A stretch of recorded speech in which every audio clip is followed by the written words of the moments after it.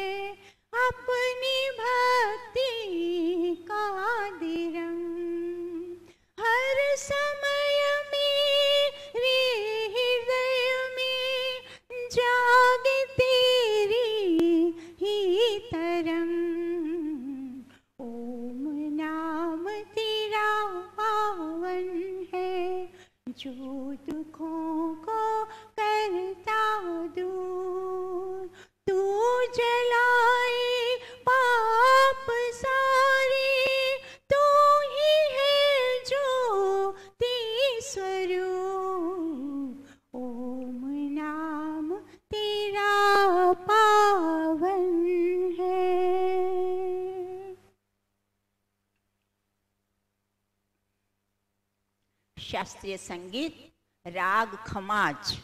राग खमाज का बहुत ही मधुर भजन हमने सुना और ये भजन एक मंत्र हमें याद आ रहा है, मुंडक उपनिषद। यदा पश्य पश्यते कतारम ईशम पुरुषम ब्रह्म ब्रह्मयोनिं, तदा विद्वान् पुण्यपापे विधूय निरंजन परमं साम्यम् उपैति अब इस इस मंत्र का जो अर्थ है, वो इस भजन में समाहित है तो हम यह मंत्र करेंगे। और प्रथम हम थोड़ा भजन का जो भाव है, वो थोड़ा सा भाव सुनते हैं। तो भजन में क्या बताया जा रहा है? भजन में जो ये भक्त है, वो अपने भावों को प्रकट कर रहा है ईश्वर के समक्ष। ईश्वर को कह रहा है, भक्त, कि हे प्रभु मैं मात्र तुमसे ही प्रीति करता हूँ, क्योंकि जन्म जन्मांतर से भक्त जो क्या अनुभव करता है, वो सारी की सारी बात ईश्वर के समक्ष, प्रार्थना के, स्तुति के रूप में उसको अपनी व्यथा, अपनी बात बताता है, भाव प्रकट करता है, हे परम पिता परमेश्वर, मैं मात्र तुमसे प्रीति करता हूँ ये जितने भी सारे रिश्ते नाते हैं वो सारे के सारे रिश्ते नाते मैंने तुमसे जोड़ रखे हैं। मेरी माता, मेरा पिता, स्नेही, बंधु, मित्र, सारे के सारे रिश्ते तुम्हारे संग मेरे सबल होते हैं। तो मैं तुम पर आश्रित हूँ जन्म जन्मांतर से। तुम पर जब मैं आधारित हूँ, मेरे सारे दुर्गुणों को दूर तू करता है और मुझे सुख, शांति, आनंद प्राप्त करवाता है। और अंत में इतनी सुंदर बात बता दी कि मुझे अभी क्या कामना है? मेरी एक ही कामना है कि मेरा जो यह स्थिति है, जो ये मेरे मन के भाव है, ये जो मेरी योग्यता बनी है, ये अंत तक वैसी ही बनी रहे। मैं हमेशा मात्र तुमसे प्रीति करता रहूँ और तुम्हारी आज्ञा का पालन करता रहूँ, तुम्हारा आदेश सुनूं और उस आदेश को मानकर तुम्हारा आदर सत्कार करूँ और मेरा आचार, विचार, व्यवहार दुर्गुणों से दूर और सद्गुणों से भरपूर बना रहे। बस मात्र मेरी यही एक इच्छा है, मेरी अब यही एक कामना है।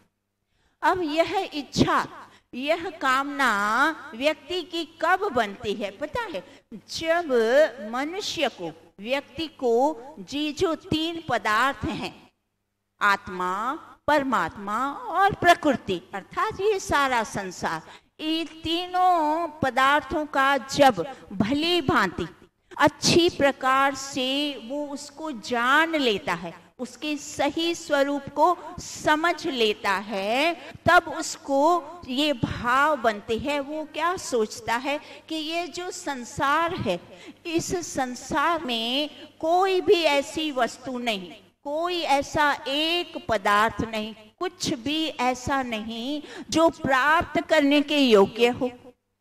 कोई एक वस्तु ऐसी नहीं। क्यों? क्योंकि सारे के सारे संसार के पदार्थ अस्थिर हैं, परिवर्तनशील हैं।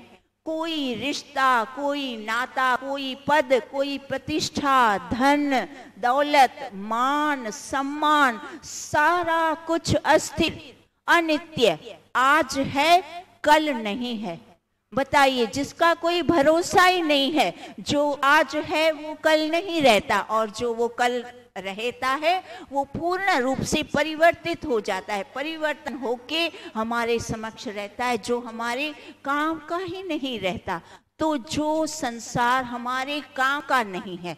अब इस संसार को एक संत महात्मा ने क्या बताया कि ये जो फूलों का जो एक मृत शरीर होता है ना, जो फूलों से ढका हुआ, सड़ा हुआ मुर्दा, वो है हमारा जगत। ये जो सारे जगत की उपमा किसके साथ करके बताई? कि एक मृतक शरीर जो फूलों से ढका हुआ है तो वो क्या है? दूर से। दृष्टि में तो कैसा होता है? दूर से वो जो ढका हुआ फूलों के हारों से, वो शरीर, वो तो सुंदर दिखता है। पर जब उसके निकट जाते हैं तो असह्य दुर्गंध उसके अंदर से सड़े मुर्दे से कैसी असह्य दुर्गंध आती है? तो ऐसा महात्मा जनों ने विद्वान जनों ने इस संसार की उपमा करके बताया, यह संसार ऐसा है दूर से तो लुभायमान आकर्षित करता है। पर जब उसके निकट जाते हैं, जब वो हाथ में आ जाता है, तब वो धूड़ के समान। जब तक प्राप्त नहीं होता, तब तक तो उसकी बड़ी इच्छा रहती है और उसका वैल्यू होती है, मूल्य होता है। ऐसा लगता है, यही सब कुछ है। ये मिल जाने से ही मैं सुखी हो जाऊँगा। और जब वो ही वस्तु हाथ में आ जाती है, तब तो उसमें कोई आनंद, कोई सुख, कोई तृप्ति नहीं। और जो हमने चाहा था, वो सब हुआ नहीं। सोचता है, अरे, इसके लिए मैं क्यों पागल हो रहा था? क्यों मैंने समय गंवाया? तो इस तरह से मृग तृष्णा, जैसे मृग जल तृष्णा एक रेगिस्तान में, मृग जो है, प्यास का मारा, रेगिस्तान में जो धूल मिट्टी होती है, रेती वो सूर्य के प्रकाश से चमकती है और दूर से वो जल की तरह जैसे पानी है, वैसा भाषित होता है। तो उसको लगता है ये आगे जल है और वो भागता भागता उस जल को पीने के लिए भागता है और जब निकट पहुँचता है, तब तो देखता है, रेती है। फिर वो दूर दृष्टि उसकी जाती है अच्छा यहाँ नहीं है, आगे जल है। फिर भागता, इस तरह से भागता भागता उसके प्राण निकल जाते हैं। अतृप्त प्राण।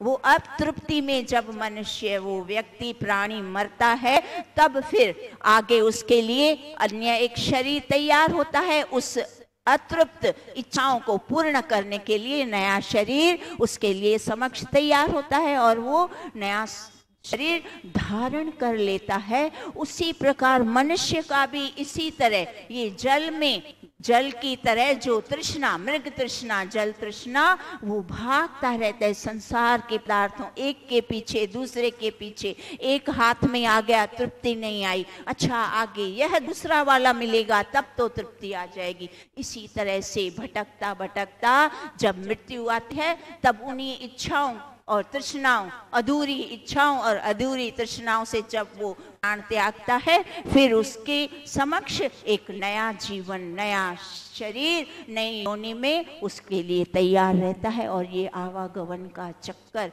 ये जन्म मृत्यु का चक्कर, ऐसे ही प्राणियों के लिए, जीवात्मा के लिए चालू रहता है। तो इस जन्म मरण के चक्कर से छूटना तो उस छूटने का उपाय आज ये भजन में भी बहुत सुंदर भाव थे और उस भजन के जो भाव थे वो वै, वैसा वाला हम मुंडक उपनिषद का मंत्र करते हैं। उस मंत्र में हमें बहुत ही सुंदर तरीके से व्यक्ति जीवात्मा कैसे इस मृग तृष्णा से जो भटकन, उसकी भटकन अतृप्ति समाप्त होकर के और वो कैसे परम सुख, परम आनंद, परम शांति प्राप्त करे, उसके लिए यह मंत्र है। तो हम यह मंत्र कहते हैं मुंडक उपनिषद का।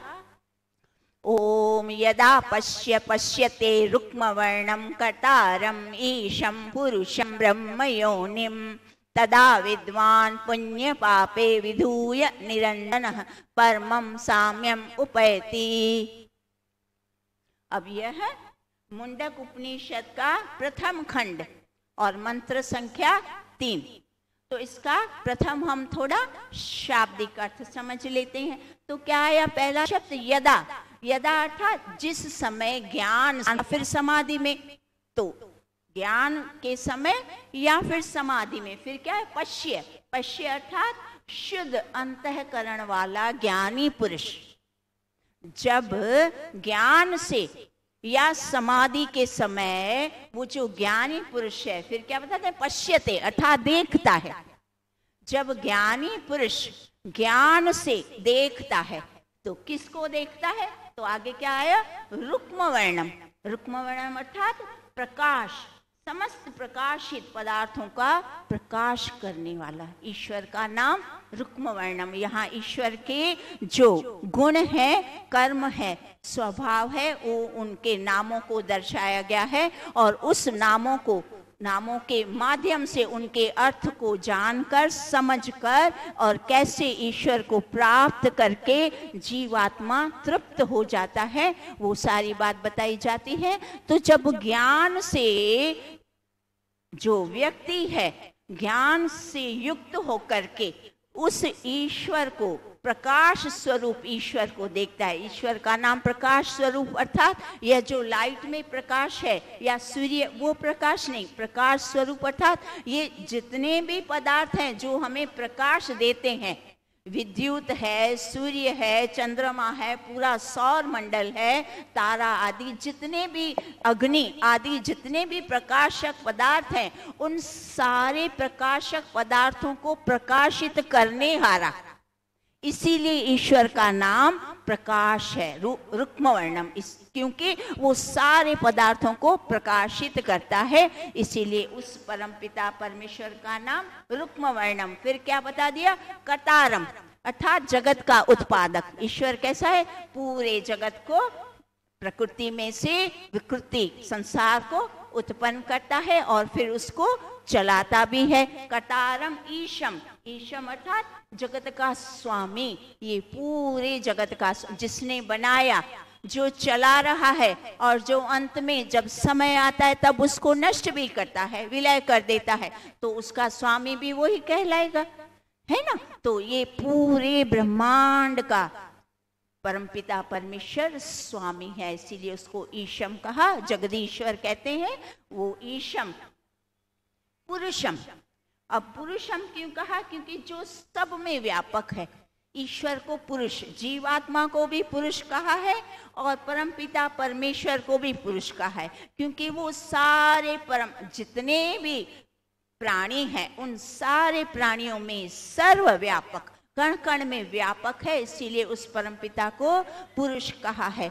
तो उस पुरुष को ब्रह्म योनिम फिर क्या बता दिया अंत में, प्रथम पंक्ति में ब्रह्म योनिम यह जो संपूर्ण ब्रह्मांड, जो नियमाकुल चल रहा है, उसको प्रकट करता है ब्रह्म योनिम ये जो चार वेद बनाए, इसीलिए ईश्वर को क्या बता दिया ब्रह्म योनि ये योनि है ईश्वर की, जैसे दूसरे सारे प्राणियों की योनि आती है ना, मनुष्य योनि, पशु योनि और पक्षी योनि, और वैसे ही ईश्वर की योनि वेद को बताया। क्योंकि वेद के माध्यम से ईश्वर प्रकट होता है। ईश्वर का प्रकटीकरण होता है। ईश्वर का प्रमाण है यह। वेद और ये जो सारा समस्त संसार है, समस्त ब्रह्मांड क्या करता है? ईश्वर का प्रमाण देता है ना? यह जो संसार बनाया, वो संसार ईश्वर क्या बोलता है? ये मेरा प्रकटीकरण है। ये मैं अपने आप को इस संसार के माध्यम से प्रकट करता हूँ। ये मेरा प्रमाण है। वो कैसे? जैसे आप देखिए, इस शरीर में ये जो वाणी बोलती है, नियमानुकूल शब्द निकलते हैं ना तो ये जो वाणी हमारे नियमानुकूल चलती है, बात होती है, फिर हाथ चलते हैं, पैर चलते हैं, ये कैसे चलते हैं? नियमानुकूल चलते हैं। तो ये शरीर में जो सारी क्रियाएँ नियमानुकूल चल रही है, उस क्रियाओं को कौन चलाता है? तो उस क्रियाओं को चलाने का प्रमाण आत्मा है।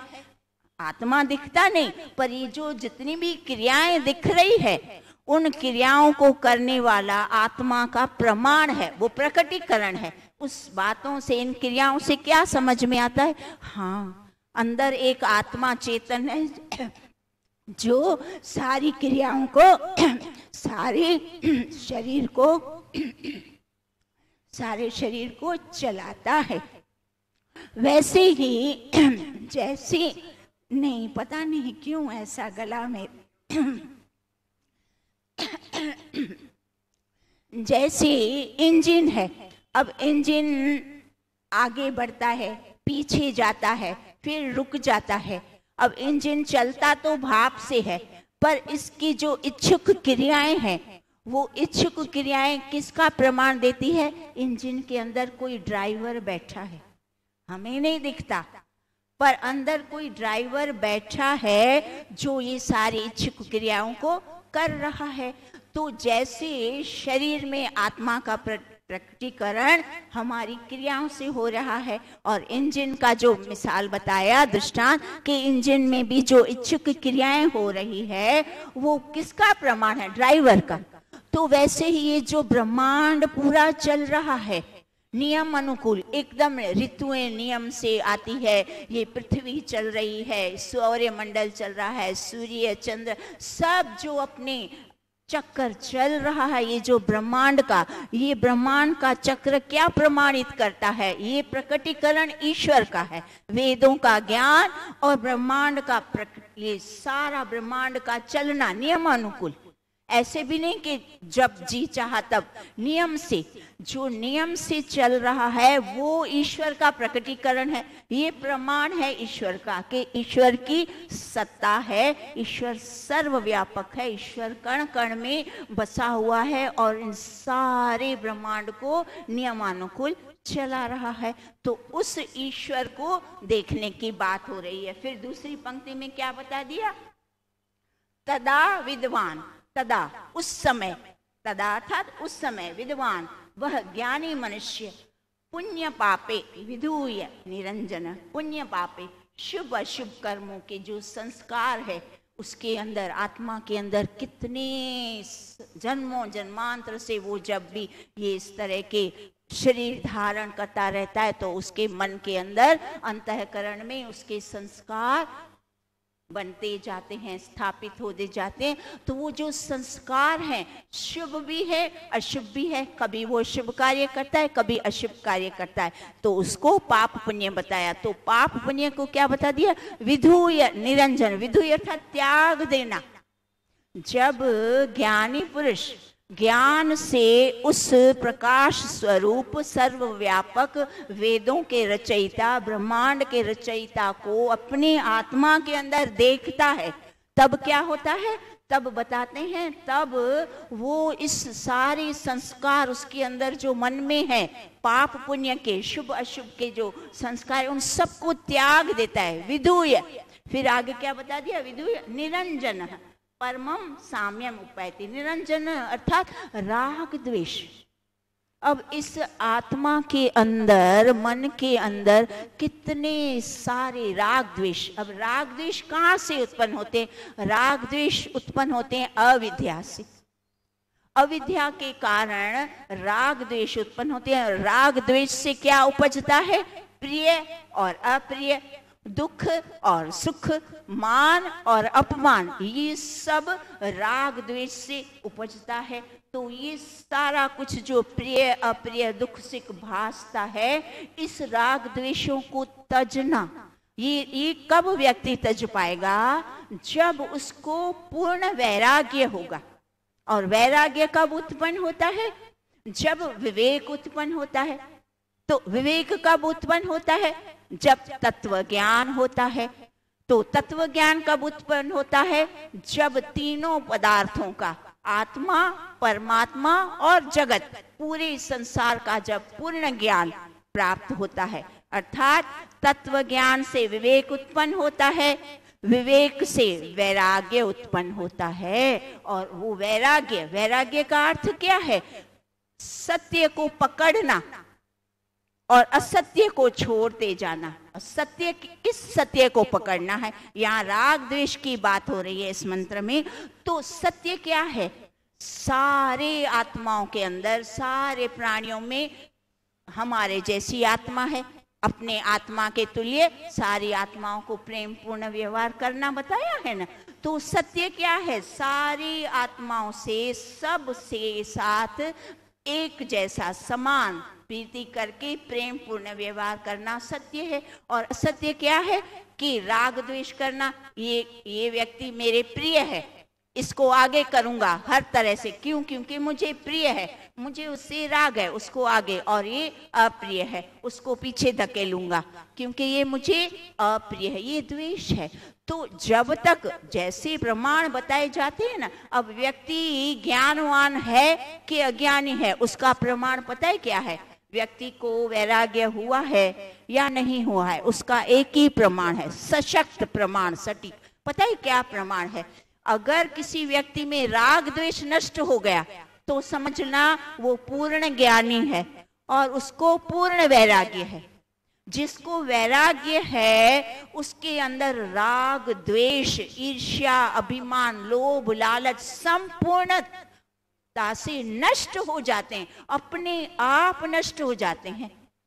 मात्र पद को प्राप्त करने से, प्रतिष्ठा प्राप्त करने से, यश प्राप्त करने से, वस्त्र बदल देने थे बड़े बड़े संस्थान बना देने से, वैराग्य की उपाधि नहीं मिलती। वैराग्य का तात्पर्य एक ही बात, हमारे चारों वेद उपनिषद, दर्शन, जितने भी आश ग्रंथ है, सब वैराग्य का अर्थ और प्रमाण यही है कि व्यक्ति के अंदर राग द्वेष, समस्त राग द्वेष नष्ट हो जाए, ईर्ष्या, अभिमान, लोभ लोभ, लालच नष्ट हो जानी चाहिए। पूरी तरह से तो राग द्वेष भरा पड़ा है। फिर कैसे हम उसको वैरागी नहीं कह सकते? तो हमें वैराग्य प्राप्त किया, क्या बताया जा रहा है मंत्र में?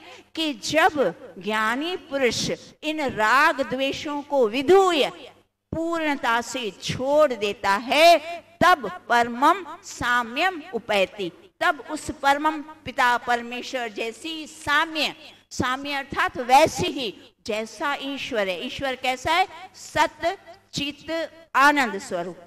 और जीव कैसा है? सत्य भी है, चित भी है, पर उसके अंदर आनंद खूटता है।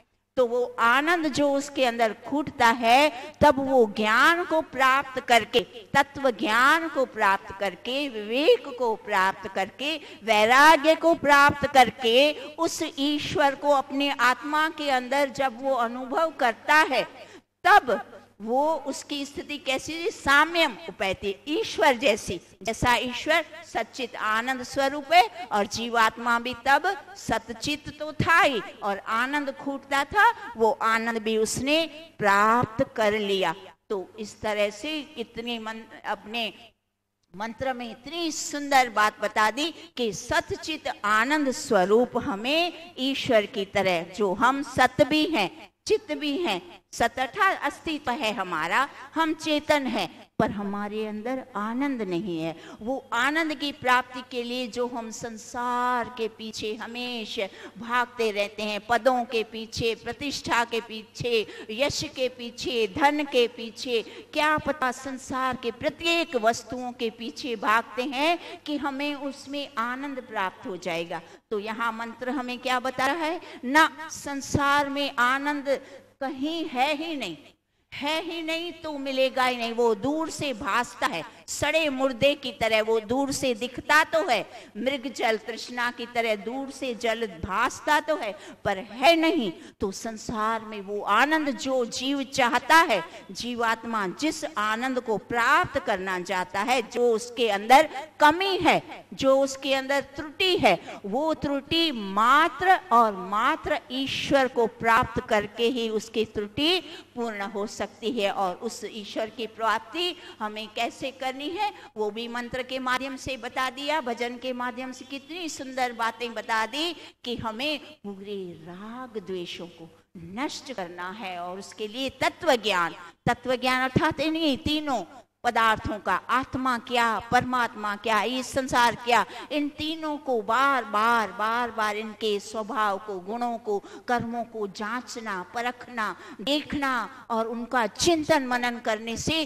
फिर हमारे अंदर तत्व ज्ञान उत्पन्न हो जाता है और तत्व ज्ञान से विवेक की प्राप्ति होती है। विवेक प्राप्त हो गया तो वैराग्य अपने आप संसार से वैराग्य हो जाता है। फिर कोई न पराया न अपना। वैराग्य का तात्पर्य क्या है? सब मेरे हैं। कोई पराया नहीं। सारे के सारे समक्ष जितने भी प्राणी हैं, मेरे समक्ष जो मेरे संपर्क में आया, वह मेरा मैं सबको सुख पहुंचाऊँगा, सबकी उन्नति के लिए मैं प्रयास करूँगा, सबको सहयोग दूँगा। यह स्थिति जब बन जाती है, तब हमें पूर्णता से सुख, शांति, आनंद प्राप्त होता है और मृत्यु के बाद हम इसी जीवन में हम जीवन मुक्त भी बन जाते हैं और मृत्यु के बाद बाद फिर हमें कोई भी शरीर धारण करने की आवश्यकता नहीं होती और हम मोक्ष के अधिकारी बन जाते हैं। तो आगे का हम अब अगली बार करते हैं। हमारा समय हो चुका है। ॐ द्यौ शान्तिरन्तरिक्षं। शान्ति पृथिवी शान्ति, रापः शान्ति रोषधयः शान्ति, वनस्पतयः शान्तिर्विश्वे देवा। शान्ति, ब्रह्म शान्ति, सर्वं शान्ति। शान्तिरेव शान्ति सामा शान्तिरेति। शान्तिः शान्तिः शान्तिः सर्वेभ्यो नमः। आप सबका बहुत बहुत धन्यवाद।